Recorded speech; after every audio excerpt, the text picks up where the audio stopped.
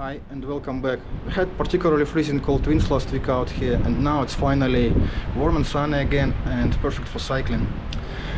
Today we will have a city trip around Podgorica and now I'm standing at the viewpoint of Dajbabe mountain.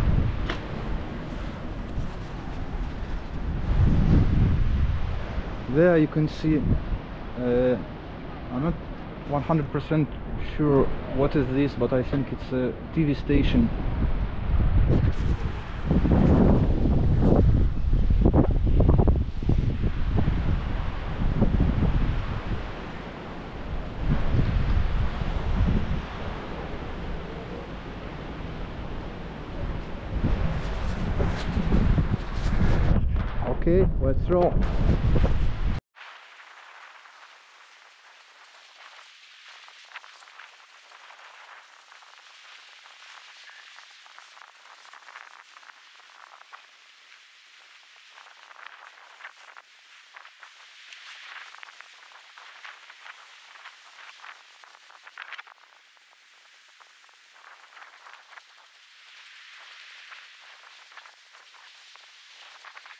Actually, it's pretty windy out here.